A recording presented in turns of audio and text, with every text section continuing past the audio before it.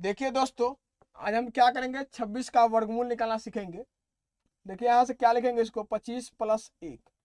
25 का वर्गमूल कितना होगा? पाँच प्लस। अब देखिए यहाँ से एक लिखेंगे और बटा में दो लगाएँगे।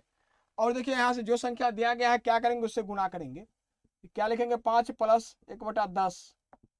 पाँच प्लस क्या होगा? ज़ीरो दशमलव एक, यानी पाँच दशमलव एक। ये आप इसको अच्छी तरह से समझ गए होंगे।